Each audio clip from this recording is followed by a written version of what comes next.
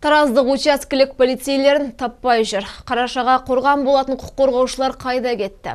Бектілген аумақта темірдей тәртіп орнататын жандарды жергілікті халықтың бірі таныса, енді бірі тіпті түрінде көрмедік дейді.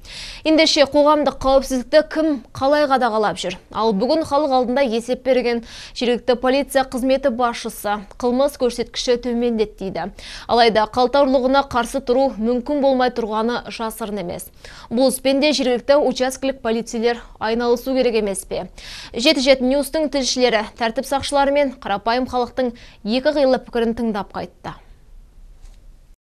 Жергілікті полицияның басты міндеті халықтың қауіпсіздігі мен қоғамдық орындардағы тәртіпті түзеу. Мәселен өткен жылы қылмыстық істердің көрсеткіші 2016 жылмен салыстырғанда 21-де 6 пайызға азайған. Дегенмен кей аудандарда керісінше. Айталық Мойынқұм ауданында қылмыс бірден 2-де 6 пайызға өскен. Ауыр және аса ауыр қылмыс деректері 9-да 5 пайызға ұлғайған. Ал жиынында сөз алған жергілікті полиция қызметінің басшысы өзгенің алажыбын аттағандардың саны артты деп отыр.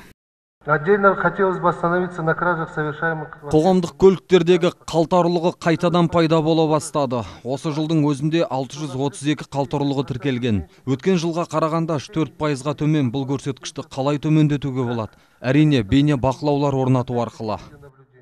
Мәселені шешудің бір ғана жолы бар дейді мамандар. Ол үшін тек қоғамдық көліктерді ғана емес, жеке жолаушылар тасымалымен айналысатын азаматтар бейне бақылау камерасын орнату керек. Әзірге қалтаны қаққан ұрыларды ұстау мүмкін болмай тұр. Сол себепті де мектептерде ұялы телефон ұстауға шектеу қойылмақ. Қазірдің өзінде қаладағы бірнеше мектептерде оқушылардың қалта телефондарын пайдалануына рұқсат берілмей отыр. Дегенмен Қарашаның құзырлы орган қызметкерлері туралы пікірі екі түрлі. Кейбірі тіпті өздерінің учаскелік полицейлерін танымайды да.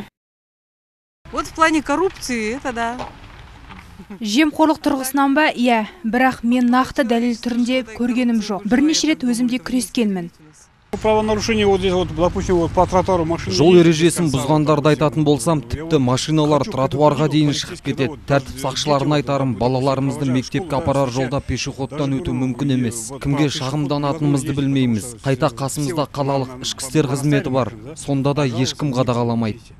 Как они работают, я не знаю. олардың қалай жұмыс істейтінін мен білмеймін бірақ интернеттен ютубтан қарағанда басқаша Халықтың дені учаскелік полицейлер туралы білмейді. Демек жұмыстары мардымсыз болғаны. Ал арна тілшілеріне оғаштау көрінгені бұл емес. Есептік жиынға қатысатын қараша тізімінің алдын ала бекітілуі көңілге күдік ұялатты. Өйткені микрофон алдында тұрған жергілікті полиция басшысына көптің арасынан бірде бір адам мәселесін айта алмады. Тек бір ғана тараздық жұмыстың жүйелі екендігін тілге тиек етті.